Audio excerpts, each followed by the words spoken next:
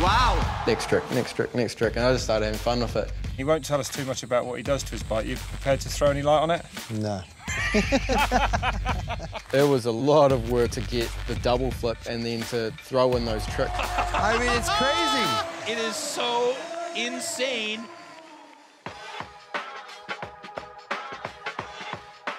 In 2009, 17-year-old freestyle motocross prodigy Levi Sherwood rode into the world's largest bull ring, the monumental Plaza de Toros in Mexico City, and put together a two-minute FMX run of such scale and creative genius that not only would it blow away the opposition, but it would change the sport forever.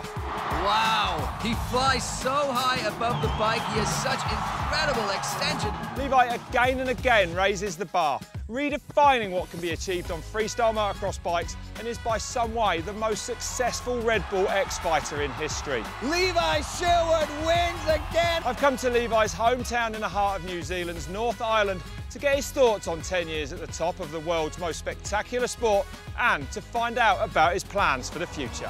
Levi Sherwood, World Tour Champion. He is this kid, Levi Sherwood. Sherwood! Sherwood takes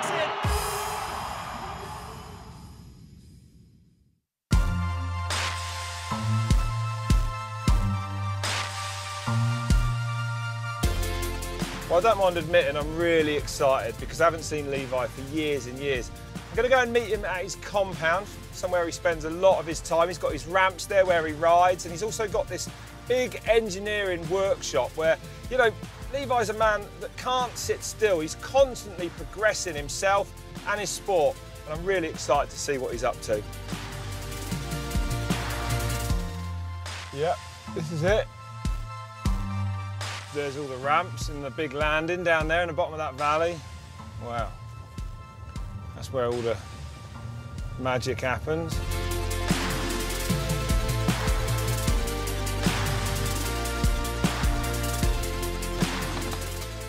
Let's see if he's here.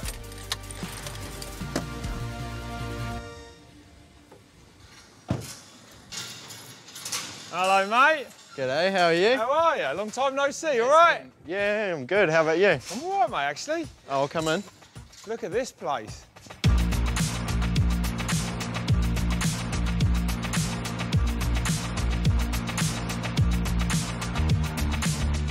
So, Levi, great to be here in New Zealand. Little journey to get here, but well worth it. Look where you live. Caught you in a period of recuperation. Yeah, it's a funny one actually. I, I've just kind of come off a broken ankle uh, or heel bone, and then first day back didn't go so well.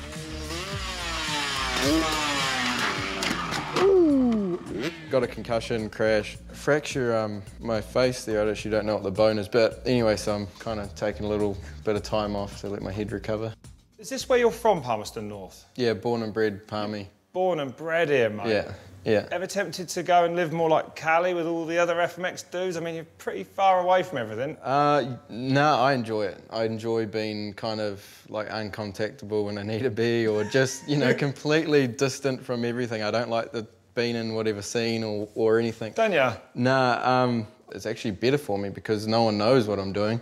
Um, you know, when I was in California and pushing it, there's all, I'm always riding with someone or someone's already already watching, especially with social media these days. Before Yeah. you know it, someone wants to get their likes and put you in your new trick out. But here I can keep everything quiet. I can build a new jump, build a new ramp, do whatever I need to do, and no one's got an idea of what's going on. It's, It's like a secret FMX hideout. Yeah, definitely is. exactly. Everyone, no one knows what's going on. It's good. The technology now in FMX, as far as the bikes goes, is massive, right? it's at the stage where our technology was here, our bikes and ramps were here, Yeah. and then our ability slowly caught up, slowly caught up until now. Our ability is all the way up here, and we're riding bikes that are, are made for racing. We're jumping Yes, ramps that were right. made made for the 2000s. You know, so You ride a modified motocross bike. that's right. it's that's a race bike. It's not an FMX bike. If you if you go to the skate park, you ride a, a freestyle BMX. You go to the track, you ride a track BMX. That's where I'm at. Is I'm building a freestyle bike, let alone not a motocross bike. That's that's where I see Yeah. it going. Yeah. Levi, I can't wait to get down in a workshop, obviously. Can't wait to see all that stuff down there. But before we do, let's talk about your X Fighters career, a stunning career which started in 2009, almost 10 years ago to the day. You turned up in Mexico City and changed the sport forever. I think Levi's spine became detached there. How did he do that? 17 years old. He is a giant killer, and you're going to be seeing him for a long time to come. I got an invite, a wild card, and I was like, whoa, you know? The year before that, I'd been watching on TV, like, yeah, I'm gonna be riding with these dudes one day. In your head, you're like, I can hang with them, I can do those tricks. I Did can- you? You had that belief? That's right. Levi Sherwood has a very successful career ahead of him. Do you remember riding out into the arena for the final? I remember one thing in the final was I didn't know it was two minutes. I remember seeing the clock and I was just about finished my minute 30 run and I was like, what? There's like another 30 or 40 seconds. And I was just blowing away. I'm like, all right, next trick, next trick, next trick. And I just started having fun with it. Wow. Oh, look at how extended he is. How does he do that? This kid is a treat to watch. From that, I ended up make, you know, doing a lot more preparation before my rounds. But that was the rawness that probably took you to that win. Who did you beat in the final? Eigo Sato. Was it really? Sherwood takes it. He wins Mexico City. It was a pretty special one for me. 2010, you sort of found your feet then in the X Fighters series more and more and took two massive wins. Let's talk about Moscow, Red Square, Yep. where you took the win. And I think one of the sickest tricks in 10 years of commentating on X Fighters that I ever saw was your KOD the flip with that uphill jump. I've never seen anything like it. Yeah, Moscow was a lot of fun. Oh, and again, that fantastic ruler, kiss of death. I don't know any old veterans that can pull that trick. It was one of those places, it just clicked, everything clicked. I guess it comes down to confidence, right? That's it. You're having fun, confidence, and Not You worrying about anything. yeah, you're, not even just worried riding. about results. You're like primo, qualifying's up, awesome, get to go riding. Yeah. You know, it's one of those times. So those are the times where it's really, you know, you can just see it shine. You're like, all right. Yeah, yeah. And from one iconic venue to another, Red Square to Battersea Power Station in London, another big win for you. I mean, that was uh, that was an incredible night as well. Oh my goodness, the extension on it is sublime. 18-year-old wonder kid Levi Sherwood in first place. So 2010, career was still going up. 2011, it kind of changed a bit, well, quite a bit, with a massive accident, which is definitely, without a doubt, and unfortunately, part and parcel of FMX. My bike slipped into neutral in the takeoff Did it? and Did it?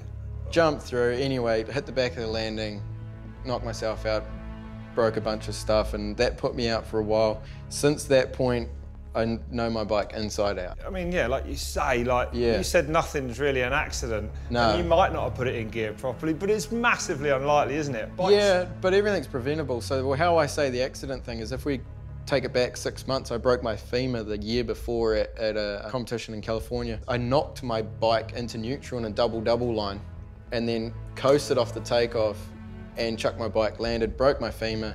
Anyway, Quite but the big deal. m- mechanic from KTM at that time's like, look, I've got this part for you. It's going to stop your bike slipping into neutral like that. And if it does slip a gear, it's going to go to first, not neutral. So it really limits the amount you Yeah. can get into neutral. And I was like, primo, thank you. I'm going to use this. If I had that part of my bike in Vegas, probably wouldn't have, have happened. Right. Because that's what it's for, is to limit false neutrals. The reason I say it wasn't an accident is because I, I, I, that was preventable on my part. Like that was, It was. that was just lack of preparation. And I want myself to be the era when I'm on the bike. I don't want it to be the era, but I don't want anything else failing me. And you actually lose a bit of trust in a lot of things when stuff like that does Yeah. happen. So that's what probably pushed me to be the way I am today, mechanically minded and to know every And working just- part in that engine and on that Yeah, bike is as it needs to be. that's right. So obviously a lengthy period of rehab after Yep. that, but you came back in 2012 and it was a sensational year for you. I mean, incredible. Three Red Bull X Fighters wins, and you took the title. I, approached that year with completely different attitude. I was like, all right, let's get it done.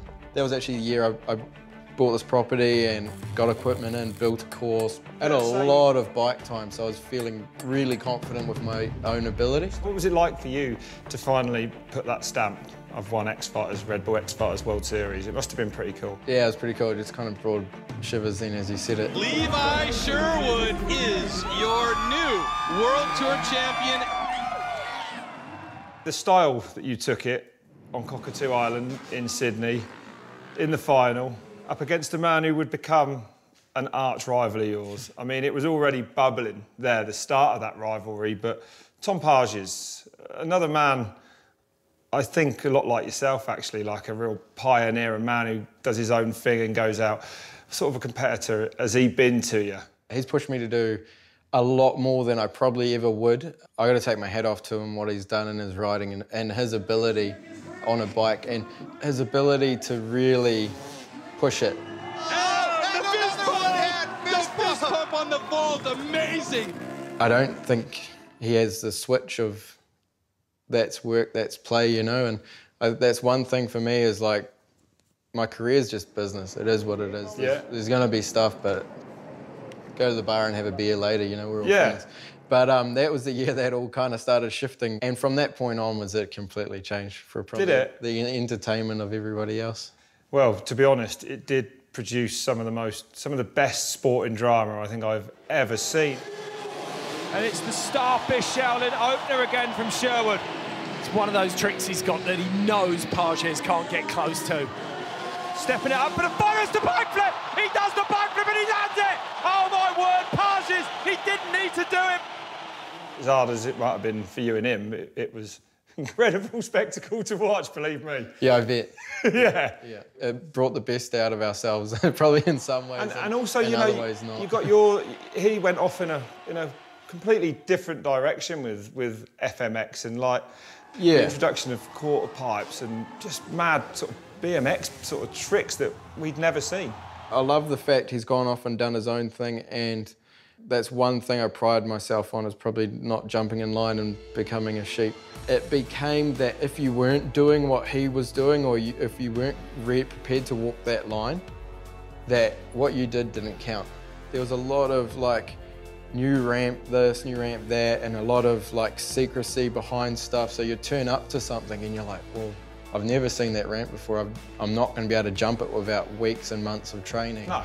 And now it's here at this competition that's supposed to be a fair playing field. So Yeah. that kind of stuff really got me. And, and I, um, I really lost the love of our sport You did. through you that. did, And- mate. You did. You had a couple of years sort of in the wilderness with it a little Yeah, bit, where I could see that you riding around. I remember watching you, and you were. I hate to say it, and tell me if I'm wrong, but you were almost just going through the motions a little Oh, yeah. bit. This is what we were talking about. Different go. styles. Egg roll. Well, it's a crash, it's a weak crash, but he's gone down, he's dropped the bike. He just washed out. What has happened there? Over all the tricks in Levi Sherwood's run, you would not have picked him falling on this one. Unlucky for Sherwood, I have to say, incredibly unlucky there. I felt like I was just swimming upstream and, and more crap, you know, every time you feel like you finally make way with something, it just keep coming. So in the end, I was just like, you know what, stuff it.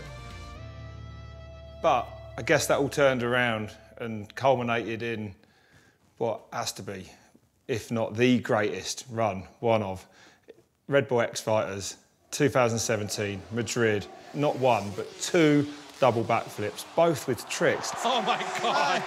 That was buttery perfect. smooth. Look at this, he's going for the double ramp again.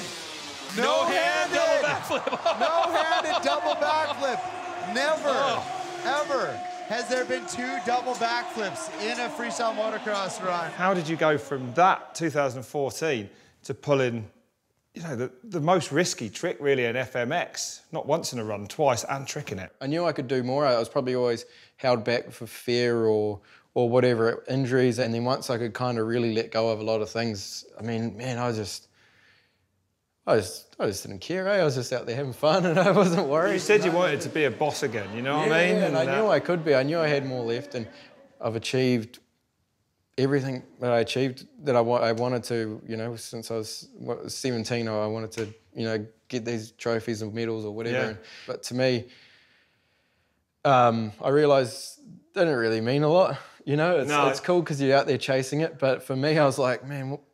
Wh- I'd, I'd win some of the biggest events I'd ever won and, and, and go home unhappy, you know? Really? What's- Is that really how it was? because I didn't ride the best I'd ever ridden, you know, or I, I still had more in the tank. And that's when I started to learn, like, let's see what you can do. Like, where is this limit? Let's let's find it. You know.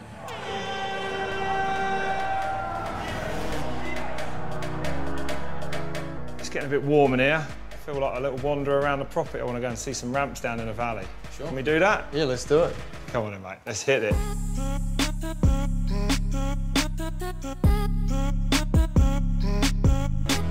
We were talking about your first Red Bull X Fighters win 10 years ago. I also remember that 10 years ago was when we first saw the double backflip in a competition run, you know, with Cam Sinclair doing it. It's a trick that is so fraught with risk.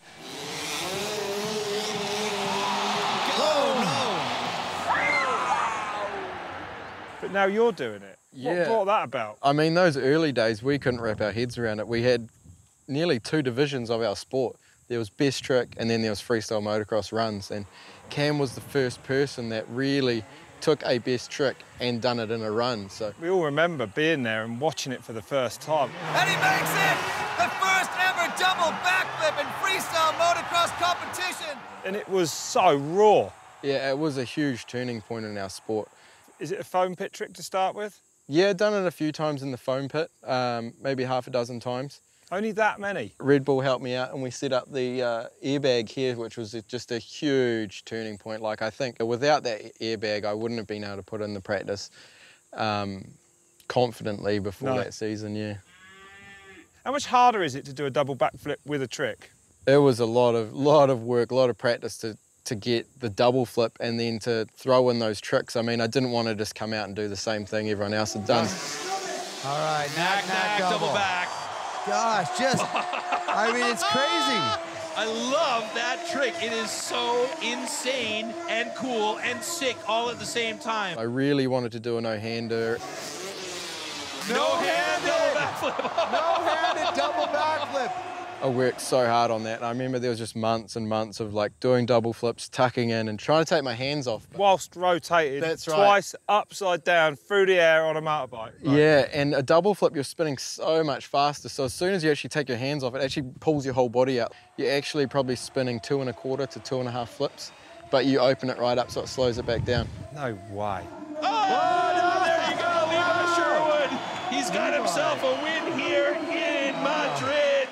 What did it feel like that night in Las Ventas to win in that style with the biggest tricks? Oh, it was amazing. You nearly feel untouchable. You know it's yours for the taking if you do what you set out to do. Well, one person who's definitely been almost on the bike with it, all those X Fighters, and then for your whole career is your dad. He's been on the journey with you, he's watched it from where I've watched it. Uh, I'm going to go and have a chat with him now, and I'm going to catch up with you later on in your workshop. Definitely, we'll see you soon. Nice one.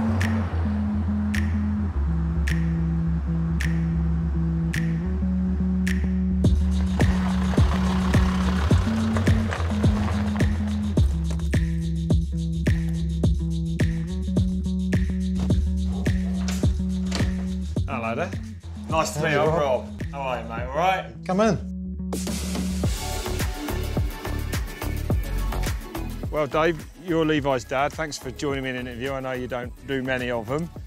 I guess, like most lads who ride bikes, you, the dad, had, had the interest in motorbikes in the beginning. Is that true? Yeah, Yeah, raced Speedway for about mm, 20 years. Did you? Yep. Good at it, were you? Reasonable. and then I guess that led to you getting Levi on a bike, did it? What age did he first get on a bike? Started racing when he was four. He um, ran a quad when he was about three.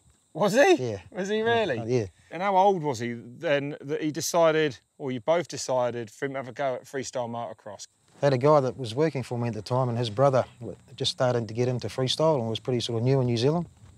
And like Levi was only nine then, and he wanted to set up a, um, a ramp somewhere. Of course, we had a bit of land, and of course, it ended up at our place. Did it? yeah. And they used to come down practicing, and once the, the kids saw that, well, that put us into um, motocross. No. Yeah. What age did you realise that he really had a talent for, for hitting ramps? Probably um, when he rode in the Crusty Demons the first year they came, when he was 12. Was it fearful for you watching him then? No, it wasn't too bad back then. It got worse. Yeah, it got worse. when the flips come in. Yeah, that's Yeah. right. What is it you think that makes Levi so special? He's dedicated, And he, makes when he makes up his mind he wants to do something, he'll he makes sure he, he, he does it. Yeah. And like he he spends the time, you know, working out how to do it. We'd film all the um, the practicing, and he'd always come back and have a look at the video, and then he'd say, "Oh, we can get that a little bit further stretched out," and I think that's how it came about. Do you remember him going out into that arena for the final and Red Bull X Fighters back in 2009? I still remember because we were watching on the screen. Were you nervous at this point? Yeah, pretty nervous. Good. I didn't think you'd admit that. yeah, I do get a bit nervous, yeah, damn right. and the crowd were behind him too, Yeah, because we managed to get a um, soccer jersey from the Mexican team, yeah, yeah, yeah. and he wore that throughout the night. No way, that's Yeah. right. I remember that as well, Yeah. actually. Yeah, it was awesome. yeah, it was awesome. Yeah.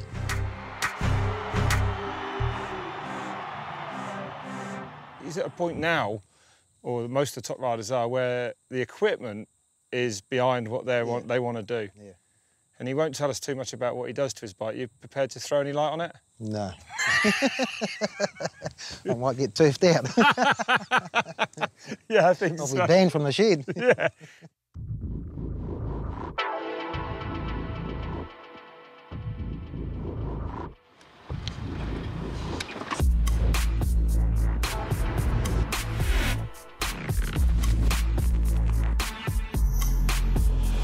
This is, I guess, the latest reincarnation of what a normal motocross bike used to look like into an FMX bike. That's right, yeah. I mean, it's probably been like a couple years in the making. I started with a bike that was 107.5 kilos.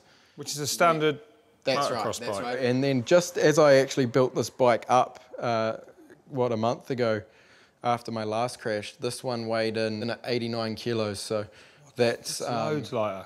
Yeah, the carbon fiber is awesome. I love that. That's kind of where my passion. And you make that, right? That's right. Yeah. And you've taught yourself yeah. what, how to make from Everything. scratch. Yeah. Is that engine standard, or have you gone in there and done some things as well?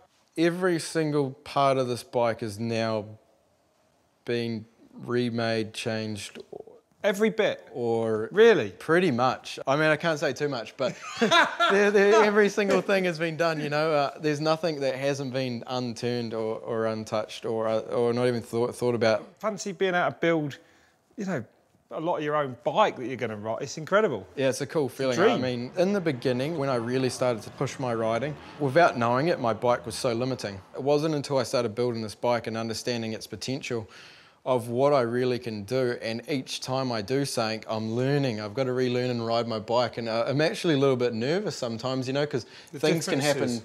too easy, you know, without the effort. I actually can now let the bike do a lot of the work for me when I'm doing spins and certain things. You know what I have to say? I think that light bike is just, it's helping him rotate quicker and lower than Sheehan has to be on the big 450. It's completely lifted the roof off the limits. It must be an incredible learning process for you. Oh yeah, it's awesome. Yeah, the carbon fibre don't stop at just the bikes. Couldn't help but notice these, uh, which I hate to say I've had a fair bit of use, right? Yeah, yeah, that was. That's a um, light, mate. Yeah, well, when I broke my ankle, I was using the crutches and they're junk, so I thought I'd better make my own. They're nice, they are. Yeah. Right, I want to have a look around your workshop, Cool. can I? Well, don't just like motorbikes, that's a fast car.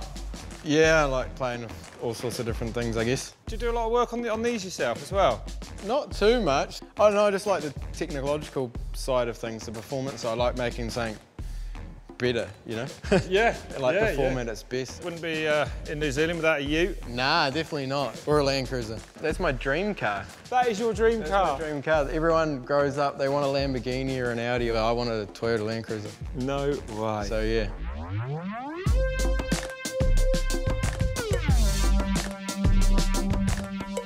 And I can't help but notice, slung on these shelves, well, going to bring back memories for me, better ones for you, but like, is that what I think it is? Red, that's a Moscow Red, square. Red Square. Square, mate. Look Yeah. at that. What a bonkers place to ride a motocross bike. I know, right? Uh, and then to win it even better. Yeah, Red Bull X Fighters always made the best trophies. What's that one up there, the light bulb? That's London. Gonna be London, isn't it? That might be the first year. There's the second year. Look at that one. Here's actually quite a cool one. So this is from Mexico City. The first win in 2009. That's right, yeah. That's incredible, eh? Yeah, I think they're all here. This is from um, Sydney. No way. Yeah. Dude, You're not tempted to have a trophy room? I'd have them all on show. Yeah, well, I'd probably go out day. wearing that most, most days of the week. Yeah, one day I might do something with them, but until now I'm too worried about moving forward. Still more to be done, so um, no point looking back. I must say it's been absolutely incredible. I've thoroughly enjoyed looking back at Red Bull X Fighters, hanging out with you again. You know what I mean? It's been uh, it's been amazing, and you know, I guess before I go, I got to ask you, what is next? Because you haven't told me that much about what's coming up. Yeah, well, anyway, Rob, it's been good having you. We'll, um, we'll leave it at that, and we'll catch you next time. I mate. look forward to the next chapter, Levi. I really do. Thanks a lot, mate. Uh, I'm on my way to. Uh, I'm on my way to Levi Sherwood's house. Started to really affect my throat. Yo, good day. I'm not after you, sir. I want to know where Levi Sherwood lives. Wow. Next trick, next trick, next trick, and I just started having fun with it. He won't tell us too much about what he does to his bike. You prepared to throw any light on it? No.